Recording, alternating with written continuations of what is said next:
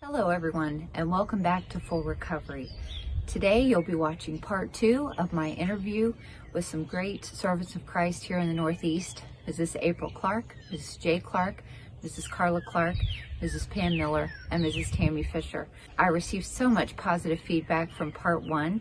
Uh, the thing I heard most predominantly was that uh, so many women felt like they were sitting right there in that living room having that discussion with us and taking part in that conversation, and that was my goal. And so I'm so glad that uh, so many of you felt that way and that that part of our conversation was a blessing to you. So today we're at part two. And uh, today we'll be tackling a few more of those questions that were posed to me on Facebook.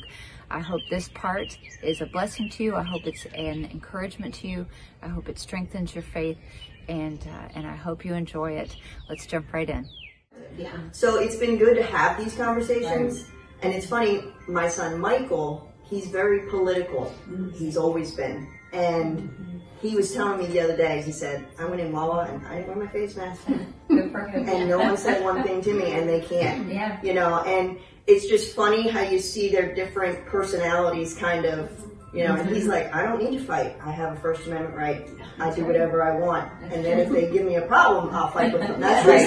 Right, that's right, yeah, we ain't coming in with a big sign that I'm says I'm not going to wearing my tell you mask. I'm Right. going to do what I'm already allowed to do. Yes, yeah, You come tell me I can't do what I'm allowed to do. Absolutely. And that's so it's just it's interesting and, and very good. Mhm. Yeah, To- I to think it's hear been them. good to hear, Yeah. right? And then to, to on their And own for them to see. feel that that Yeah, where we live in Connecticut, um, well, we live in New York, but our church is in Connecticut, and our oldest daughter, who's expecting, lives in Connecticut. And um, she found out just before this, uh, she told us on February 23rd, but wasn't ready to share it with everybody else. But our governor in Connecticut um, tweeted that a newborn had passed away from COVID when it was not so. But that put every expectant mother in a panic Right. and um, just what are we going to do now? You know, what's going to happen? And I know that was that factored into her not wanting to tell people. And of course, it's been proven that that baby did not pass away from the coronavirus. Um, but it is a scary time. It's it's crept into you know our our thinking. The next generation is processing things kind of differently than we would in many respects. The thing I don't uh, like in to see in anybody is operating out of fear. You know, but this has made us fearful collectively, and uh, we have to get back to the place where we we understand bad times have come before; they're going to come again. You know, but we have to keep doing what is right. Do you have some memories or knowledge of something in history that has happened like this before? Well, first of all, in, in all of our in all of our lives, we have never faced anything like we're facing hmm. now. Hmm. Basically, we have lived very easy It's true. Mm-hmm. lives. Challenged pretty much. um, God has God has been so good, hmm. so good to us. I'm not saying that God has turned His face on us, not in any sense. You know, I can see God's hand and God's blessing through through all of it, God's mercy and His grace. But um, you know, a couple scary times for me. 9/11 was scary for me. Yeah. Um, our country was attacked. We had never, in my lifetime, I had never, you know, encountered anything like that. I was teaching third grade at that time, and my principal came and told me privately in the hallway that the towers were just attacked by terrorists. Hmm. But I was not allowed to tell my students that. Hmm. And that parents were going to be picking up. And I had to make sure ID was shown, even if I hmm. knew them. But I turned and I walked back. I think I had about 32 third graders that year. And I could just hardly compose myself hmm. because I looked out in my classroom and there sat children who I knew their parents were working in those towers. And the thought hmm. of them not going home to a parent was hmm. that was frightening, and that shook our country, and that made people think. And I think that's what's happening now. It's Yeah. making people think. Absolutely. Yeah. and um, you know the bible tells us all the time you know we're supposed to speak of god's goodness to the next generation mm-hmm. so that they know of god's goodness mm-hmm. and i'm always convicted about that and i mm-hmm. always almost daily pray that my students my children my grandchildren will see my faith and it'll be transferred to the next generation. Mm-hmm. And I always tell them that God doesn't want to live our lives being fearful. Mm-hmm. Right. God wants us to be faithful. Mm-hmm. so whatever is in our paths, it this is a fearful time, but we have to approach it. That God does not give us a spirit of fear, but Right. God is faithful, and He will guide us. This morning I woke up to um, the words in my. I was making tea for my husband and myself, and the words to an old song, which that's my heartbeat. The, mm. the old songs. Oh God, our help in ages past, Yeah. our mm. hope for years to come. Mm-hmm. Be thou our guide, mm. while life shall last to our eternal home. And that's really how we have to approach it. Right. he is our heavenly Father, and He's going to guide us through. And we need to depend upon Him to be our our guide mm. through it all, and be submissive and you know. Mm. But that was a scary time for me. It was. Um, when I was a teenager, I was in the suburbs of Chicago. LSD was really mm. prevalent, and it was that was scary. The hippie era, hmm. and in Indiana, you were allowed to have a driver's license at 15 years old, and so there were places I was not allowed to drive. and but where I lived, um, I lived in the suburbs of Chicago, but my dad didn't want us to go into any public places, like, hmm. you know, without them. Even in a bathroom. Hmm. I mean, people were taking, you know, needles and sticking them in your ankles, you know, f- filled with drugs. And uh, it was a scary time. It was a scary time. So you had to learn to protect yourself and, and watch out. Yeah. But, um, As, as teachers, those of us that are teachers, well, as parents, we're, t- we're our, our children's greatest teachers. The, I think, um, a good that can come from this is realizing how little children today know about government Yeah. and being a good citizen mm-hmm. and how it all, and even the foundations, the underpinnings of the Constitution, the, the Bible that was, that our country was really founded on, the precepts of freedom mm-hmm. and so mm-hmm. forth that we find in the scripture. And we really need to get back to making sure yeah. If they don't learn it in school, parents need to learn it if they never learned it. And And to know, keep the United States going uh, the way and enjoying the freedoms that we just take for granted. ready. Um, that that it, how quickly, Yes. if we're willing to just give them up, and uh, we we realize this is a temporary situation, but precedents are being set. But but the point being, real, the importance. If there's one thing we can take away, I think as parents, is the significance of our children knowing and appreciating the freedom that they have in this country. We don't have to carry papers. Mm-hmm. We have Right. freedom to just Right. cross state lines and to mm-hmm. and don't give that up. Mm-hmm. I mean, Right. our kids need to know what freedoms they have in comparison to around the world, and um, that they need that's something they need to just not give up. Right. They may not even realize the significance to some things. So we're older and we're a little wiser. We realize you've got to convey that to your children. They want. So um, we're gonna. I want us to talk about a few um, areas now that are kind of more streamlined for church and the ministry. Um, how do you handle criticisms of your husband or your ministry? You can answer specific to this time as far as dealing with COVID-19 and quarantine or, or just in general, how you handle when uh, when he endures criticism or or your children. It's different when somebody comes face to face and says, "I don't agree with this," or "I have a problem," or "Could we think about this?" about this? yes, Right.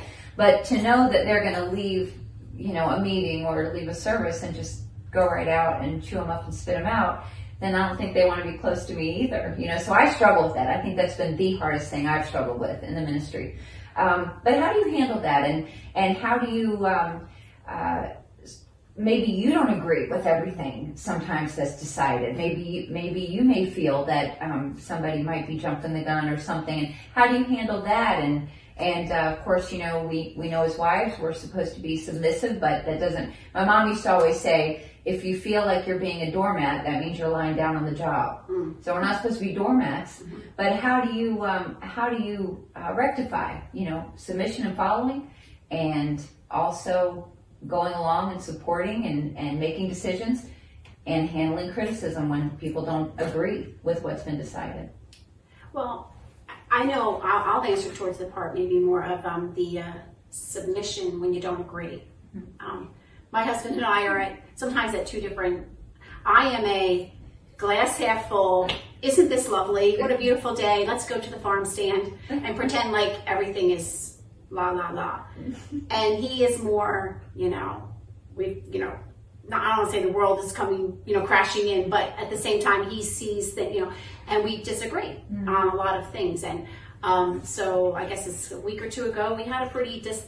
No, I don't want to say disagreement like we were screaming at each other disagreement, but was a definite. I had a certain opinion, and he definitely had a different opinion. And um, he kept saying to me, "You're allowed to say what you, not that I have to have his permission to say, but at the same time, he was making it very clear to me it's okay for you to have an opinion that's different than mine. You know that that's what makes us. We are one, but we're different. Like, and and I said to him, well, I I can't. I have to have the right spirit about this. And what helped me helps me is he wanted to hear what I had to say. He did. Mm-hmm. He wanted to hear what what are your thoughts on it. You know, I, it was uh, you know on the whole church is essential mm. and sending out petitions or having a rally. He wants to know my opinion. Sometimes I'm hesitant because if I know I'm so completely mm. and not in that in, in this situation I'm for it. I'm all about it. But but using that as an illustration, I know that be, because we've been together 30 years and whatever, he does value my opinion. Okay.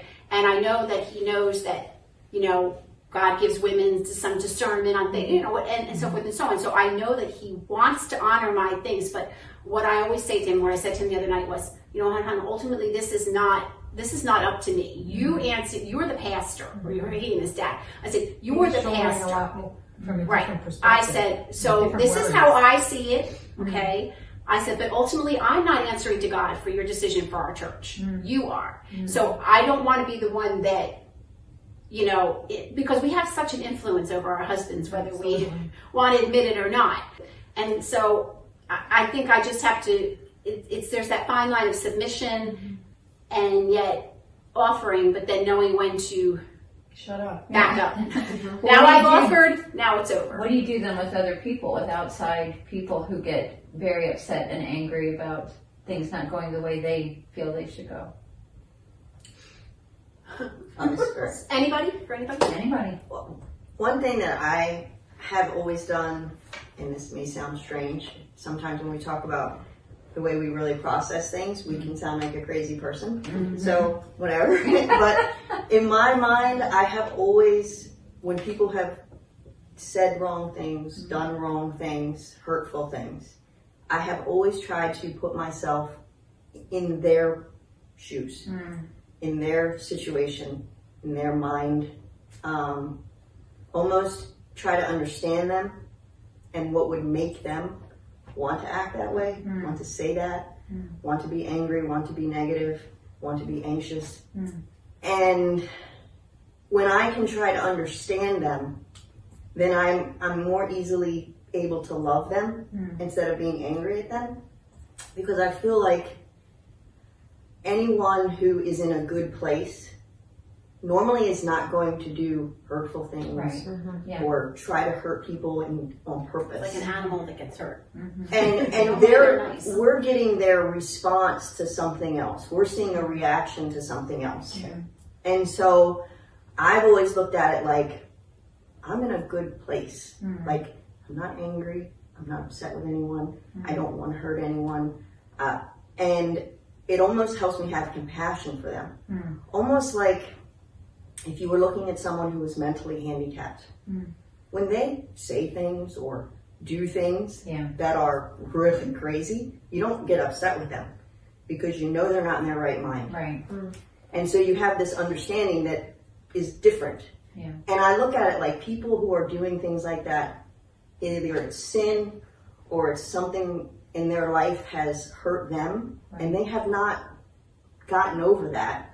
And they keep repeating bad things. Yeah. And it's because they're hurting. Mm-hmm. And so I've always tried to look at it like, how can I help them? Yeah. Like when they, it's to me, it's almost like a big sign. Help me. Yeah. I, I hmm. I'm in trouble, and it's helped me not to get angry with people. And I I, I put that in practice in my own family hmm. with my parents, different things, and I think the Lord helped me with that because we mm-hmm. all are going to be hurt by people Right. Right. on different levels mm-hmm. in different ways. Mm-hmm. And I think God helped me um, with that. And it's just really made it easy for me to It not really be is a sign sometimes of arrested development. Like somebody had something traumatic happen to them when they're young, and they that just sort of halted their ability to process and navigate their way through life. So the only thing they know from that point on is to react in anger. Yeah, mm-hmm. I, I, I enjoy studying people. Mm-hmm. Um, and mm-hmm. I can be in a restaurant, and when the waitress is rude, I immediately think, What what happened? what to her? happened to her today? What is going on in her life? Yeah.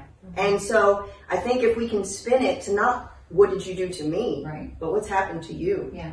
And even when it comes to our husbands or different things, I look at if someone's upset about us opening, I look at it and think, okay, what's going on in their life to cause them to be this fearful? Yeah.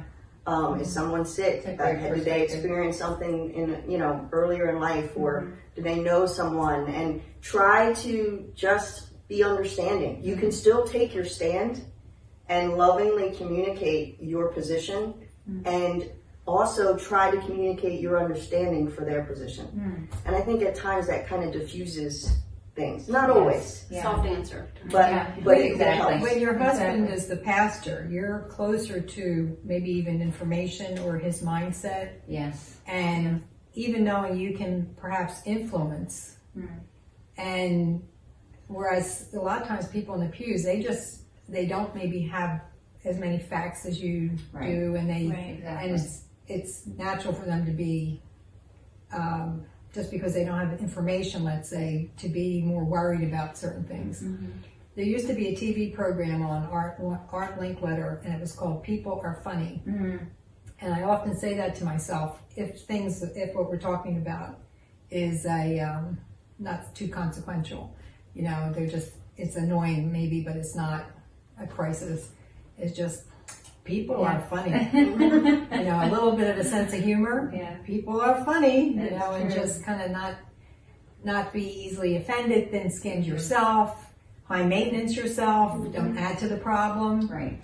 Kind of just uh, the answer, I don't know, works a lot of times. I know? think trying to shield, uh, you know, if somebody says something to me, well, you're, this makes no sense. Your husband, 1st of all, most people don't say. I Right. think I'd be the last person they would complain about my husband too, too, yeah. probably. You know, Yeah. I mean, most likely. Right. But if they do say something, I- don't always have to tell him. Oh, Right. you know, such and such says that you, mm-hmm. you know, Yeah. he doesn't need to know it. Right. If it's not going to help the situation at all, mm-hmm. you know, then I'm, it doesn't. He doesn't need to know it. You know, I, I, there was something the other day on the, somebody put up something negative about mm. what he was, what he's, mm. you know, what he's getting ready to do, and the church is joining in. And I, it didn't say his name, but it was, you know, Directed. definitely directed. And, and I wanted to say, did you see that?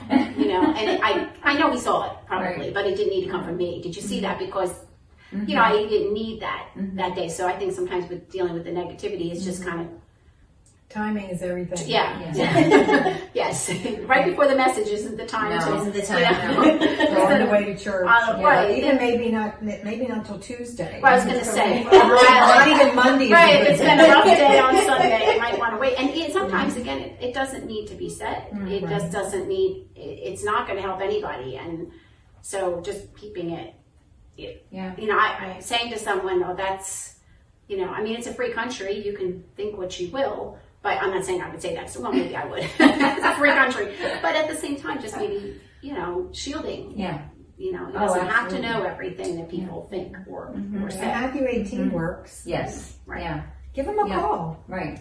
You know, give him, talk to him directly. Absolutely. That kind of Yeah. shuts down some Yeah, things. right. Yeah. How do you handle things, um, you know, when it's, you're not just proceeding in your ministry, but you're proceeding in your family? And maybe you, you ever had a time where you disagreed about something, uh, how to handle it, Carla? To be honest, my husband and I, um, we think a lot alike. Mm. Um, I'm not saying we don't have disagreements.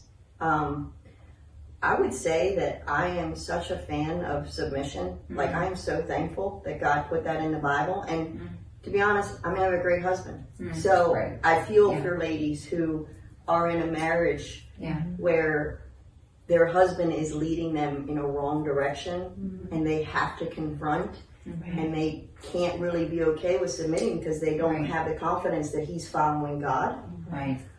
But when you do things God's way and the husband is who he's supposed to be, um, it is fantastic. I don't want to be in charge. I don't want to be responsible. so nice. The older I get, the less I want to know, Mm-hmm. the less I want to be in charge of, the less I want to be responsible for. Mm. So, like Jay was saying, um, my husband values my opinion more than at times I think he probably should, Mm. to where I It's scary. it is very scary Watch your um, influence. Mm-hmm. and so i'm very careful like jay said um, when we do disagree on something end game like jay said you know what? You're you. in charge. And i don't want you to do like literally like i will say at times do not do what i'm I saying. just said. Right. because at times he will i mean Change what they're doing. I I have strong opinions. Mm-hmm. I am I'm I'm not type A, but I have strong opinions. Mm-hmm. And I'm not afraid to share them. Like maybe my comment earlier makes it seem like I'm passive.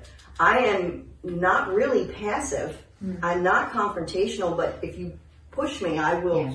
speak my mind without fear. Mm-hmm. So with him, at times we'll have a discussion, and when we come to the end, he'll almost be like, "Well, that's fine. We'll just be, oh no no." Yeah. then I'm like, "No no, don't do what I said," because I really don't want him to do something he shouldn't, mm-hmm. and I don't want to be the one that's in charge Yeah. making these decisions. And he's a strong leader, but he, mm-hmm. you know, we do agree on a lot of things, mm-hmm. but in the end, he makes the decision, and I follow him, Yeah. and I support him and try to agree. make his decision right. If, if, if that makes sense. Like if he's saying we're going to do this, and in my mind I'm thinking this isn't going to work because this is going to happen and this is going to happen. Once I turn that page, mm-hmm. my job now is to make sure those things don't happen Right. that are going to cause this to be an issue. Yeah. In Instead my of mind, sitting there and saying, I instead of sitting back and saying, "Told you so," Yeah. now I'm on his team, Right. and together we're going to make this happen Yeah. the best we can with God's help. To me, submission is you literally are on a submission. And it's just my mission to help him in whatever it is, you know? And yeah, you, you say what's on your mind about it when asked and, and, or even if not, if you feel strongly, you know, you, you feel the Holy Spirit's really telling you, maybe he hasn't thought about this, bring this up. Um, but in the end, you know, we're, we're a team and we're one. And so we're supposed to work together on those things. I want to switch a little bit now into some more practical areas. Um, we received a lot of questions about how do you proceed when you are concerned about the health of those in your own home or the health of those that surround you. I know with uh, my husband is severely immunity compromised, so he hasn't been in a store since uh, the end of February. And we've just tried to protect him. Um, you know, taking care to wash your hands and all the you know all the things trying to keep it away from him even though i do believe he had it already. Just want to be careful. Um, so what are some things that you i know you're really big on boosting your immunity and all of that mrs miller so what are some things that you have discovered about that Boosting my immunity. um, I, I just take a lot of supplements. I do. I um, I always have, but even more so now. And um, it seems to work. how do you um, how do you care for those in your hmm, how can I phrase this question? How do you care for those about whom you're con- you're concerned about their immune systems, but they just want to just you know be like Jay and just keep going out every day? I use hand sanitizer. That's my big thing. Is it seventy percent alcohol though? Uh, it won't work if it's Probably not. Um, how how do you handle those things? You know, I mean, it's been fairly easy for me. I do take doesn't really echinacea every too to much. boost my immune system. I want you to know. that. Yeah. yeah. I take echinacea every day, We six do. a day. We do a lot of oils. We do a lot of oils. too. I, I don't even use hand sanitizer. I have thieves in my car and I spray it like everywhere and we clean with thieves and through everyone being and we had so many kids. I bet we've talked about this in January. Our kids in our school were so sick, hmm. passing the same thing around, and we said we wonder if they all had a small version of this, and we had the teens over during that time, and and I just, I mean, I'm just a firm believer in the, the oils. And when they all left, my husband even pulled out the oils and we're like spraying it on every surface in the house. And, hmm. and God has been good in the fact that we've not gotten sick. But, hmm. um, I think the big thing we're having with our church is that a lot of our people do work with patients. I, mm-hmm. I'd say minimum we have 10 nurses in our service, in our mm-hmm. church. That's a And so, and that's a minimum. And we're, we're not we're not a huge congregation. You're talking about where your driving crowd is like 120, and at least 10 percent of them are working with patients every day. Mm-hmm. You know, they're fearful of bringing it into the church, and then um, they're fearful of themselves. Um, and but at the same time, you know, we have some of our church members we were talking about on the way here who are living in fear, and so they're it's hard. Like, how do you teach them to not live in fear? And then you have some who have compromised immune systems who are still out there, but they're taking precautions but not living in fear. Yeah. So Yeah. I think Yeah, you have to keep living. You have to you keep have living. to keep living. What Mass just did, we actually have some in church that have stopped living. Living, right, Oh, yeah, right. Wow. They have shut themselves out Mm. and and it's like I've even asked myself, what when do I Say approach them and mm-hmm. say, look, Get back in it. Yeah. you have a family you mm-hmm. are influencing and you have to show that God is more powerful. You have to mm. be careful. I mm. understand that, but Right. What do you do with with? Uh, I mentioned a while ago about a young person who really struggled and ended up taking his own life. What do you do with teens who are emotionally struggling right now with with not seeing their friends? I mean, these are real issues that people or parents are dealing with. How do you help them? What are some things that you would do for them? I think what I do have a son who does struggle emotionally, and I think what he struggles with is he um, doesn't understand everybody's emotions, um, but then he holds his emotions in and doesn't understand how to communicate them out. Um, and then I have several friends who struggle with anxiety, and this has been a challenge for them. And and I don't struggle with it, so then when they call me, it's kind of hard to kind of see their view Right. but what has seemed to help them a lot and i have two very close friends who struggle with depression and anxiety and then with my own um, child with this a little bit but it's really making them focus on things that they're thankful for. It's making them learn how to switch. So i know with my friends that it's been a help and, and they've talked and we've i've talked them through it is they have to have I've made them make journals that makes them go on autopilot. So when they can't change their thought process and it's they're just stuck with these negative thoughts, they pull out their notebook. And this is a notebook that they made when their mind was okay hmm. on verses that help, songs that help, hmm. and making themselves think every day of something they're thankful for hmm. and reading through that. So then when they're like the bad thoughts and the bad thoughts and they can't get it out, they pull out that journal and they just idea. start reading. So they don't have to find the verses. Right. They don't have to scroll what my song is. This is the Know song what they are. this is mm-hmm. the verse this is what i'm thankful for and then as, and i say as that music is playing the godly music mm-hmm. about you know praising the lord and loving the lord and being thankful lord and as you're reading the verses then you read the things you're thankful for and you got to make yourself think of something else that's thankful so yeah, That's great. Yeah. those have been big things it's like because you can't be depressed at the same time as you're being thankful.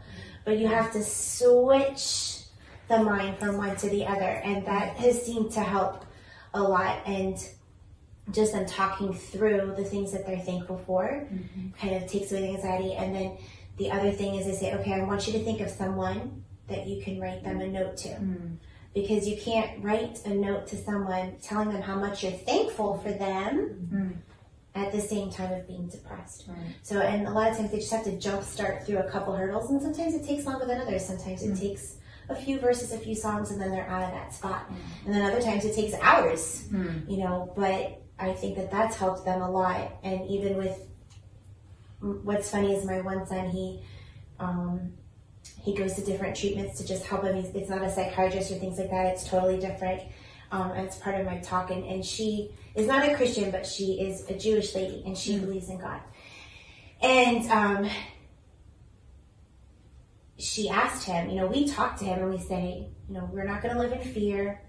And yes, lots of scary things are happening, but God doesn't give us that spirit of fear. We are going to be careful. We are going to be cautious, but God has been good and He has provided things for us. And so she asked me, she said, Do you mind if I ask him how he's feeling through all mm. this? And I'm like, Yeah, that's fine. And so she asked him, and his response was, We might run out of food. And mm. I was like, out of all the times I have talked with him about this, that is nothing he's ever said. Mm. And I found it, you know, shocking. And so she even said to him, like, well, why do you feel like you're gonna run out of food? Is there not food at home? And he goes, oh no, my mom has bought so much food. It's popping out of the fridge and, and popping out of the pantry. He goes, but we could run out hmm. because things are running out at the store. We could run out. Hmm. And she said to him, and it actually was humbling to me that God placed somebody in our path to help him through emotions that still believes in God, and I don't have to worry about other things. And she said, even if something bad happens, is God still good? Hmm. And she, he said, yes, God is still good. And so she said to me, she goes, I know what you're teaching in your home, and I know you're teaching them that God is not fear. You know, you're not going to live in a spirit of fear. But maybe remember that even if something bad happens, remind them God is still good. Yeah, that's important to remember. I just, re- oh, I was going to say, I have had a, a fear of flying my whole life. Going, and I've gone to Australia like as far as you can go, and I, it's, you know, grip the, grip the, the seats. And um, about a year ago, we were going to go to Israel, and my husband wanted me to go. I didn't want to go because I didn't want to take the long flight. I couldn't wait to get to Israel. I've been there twice, but I didn't want to go on the plane. And so I started researching some things, of course, and looking online and doing all that. But then um, some Bible verses that came to me. You had mentioned about verses that help in fear. And um, I always think I like Psalm 91 where it says, He that dwelleth in the secret place of the Most High shall abide under the shadow of the Almighty. And I always picture, you know, God holding up the plane. But I'll tell you the one thing that really helped me, and I don't know if it helps peop other people, maybe it causes, when I got to the point where I realized that nothing is in my control, mm-hmm. not sitting here right now.